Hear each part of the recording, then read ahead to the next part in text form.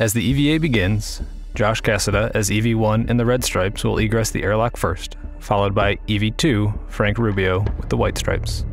They will each grab a bag, and then both crew members will translate out to a location on the truss to set up their tethers. EV1 will head to the Irosa carrier that has the stowed solar arrays to begin setting up that worksite by stowing his crewlock bag on a handrail and retrieving his pistol grip tool. EV1 will then release the first restraint bolt on the Irosa.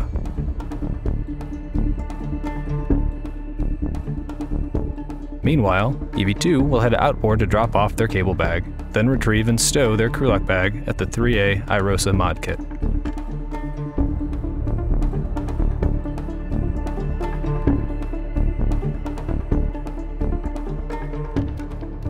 Back at the Irosa carrier, EV1 will retrieve an articulating portable foot restraint and install it on the end of the space station's robotic arm.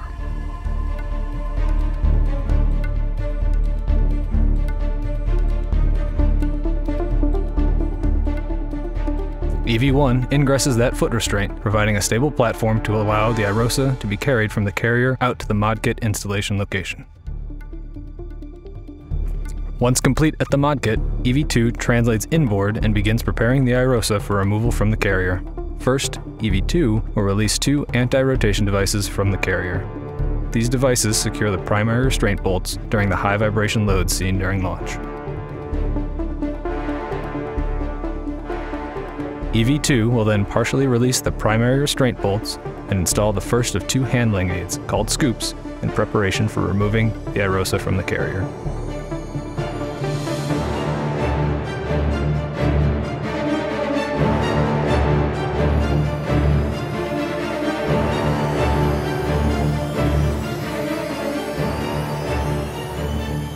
On the robotic arm, EV1 will fly over to access two sets of bolts on the boom end of the Irosa.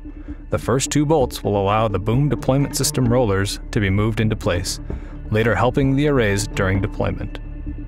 The second two bolts will release two of four mechanisms holding the Irosa in its rolled up configuration. The robotic arm will then fly EV1 over to the other side of the Irosa, and both crew members will work together to release the final bolt holding Irosa to the carrier.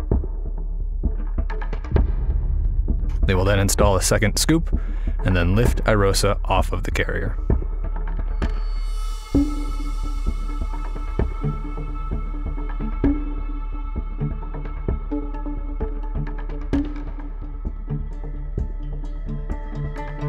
After several maneuvers on the robotic arm, EV1 will arrive at the ModKit worksite. During these maneuvers, EV2 will reconfigure EV1's safety tether and meet EV1 out at the ModKit. Both crew will work together to install the Irosa onto the mounting bracket.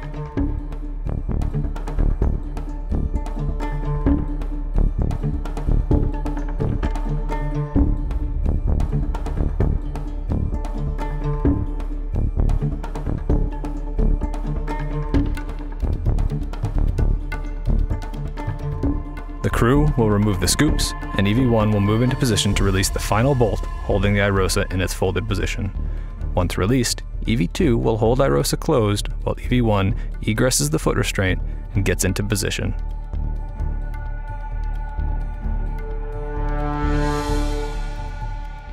Both crew will then work together to unfold Irosa and secure the right side onto the mounting bracket.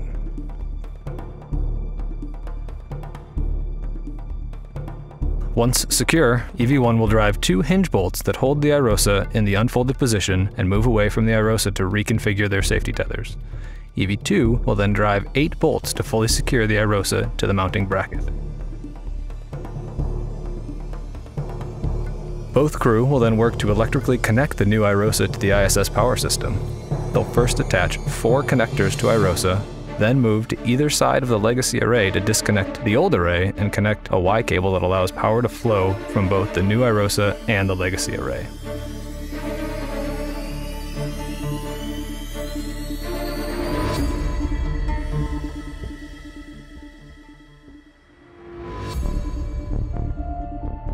At this point, EV2 will move to a deployment viewing position, and EV1 will release the final two bolts restraining Irosa in the undeployed position.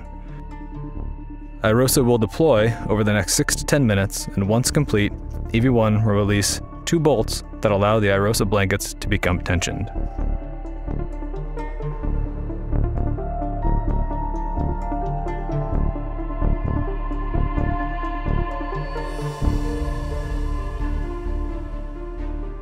EV1 will translate back to the IROSA carrier and begin work on releasing the carrier beams that previously held the IROSA.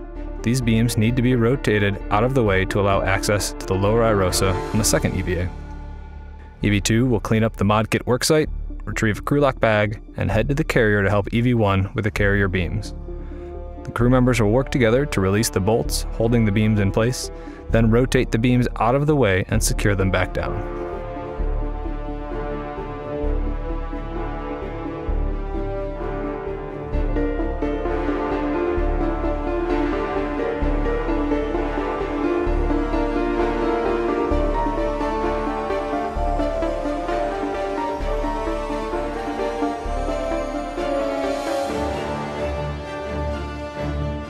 This is the last task in the first EVA, and both crew will clean up their worksite and translate back to the airlock to clean up their tethers, ingress, and begin repressing the airlock.